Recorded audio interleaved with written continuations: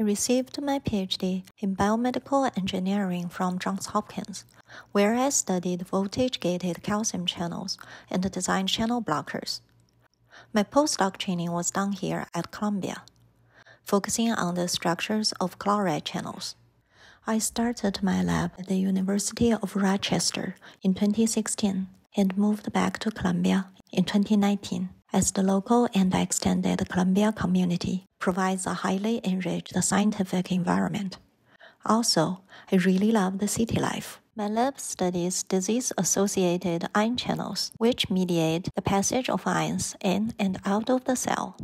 Our current research is focused on a family of calcium activated chloride channels named bestrophins.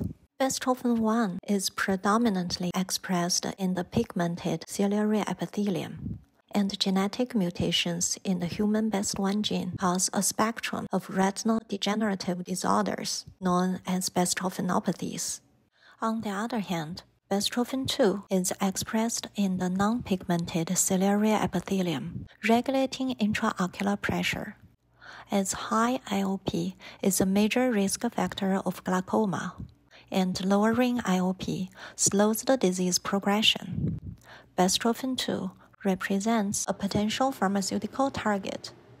Our previous works include solving the first bestrophin 1 and 2 structures, deciphering their regulatory mechanisms, elucidating disease causing mechanisms, and establishing gene therapy for bestrophinopathies.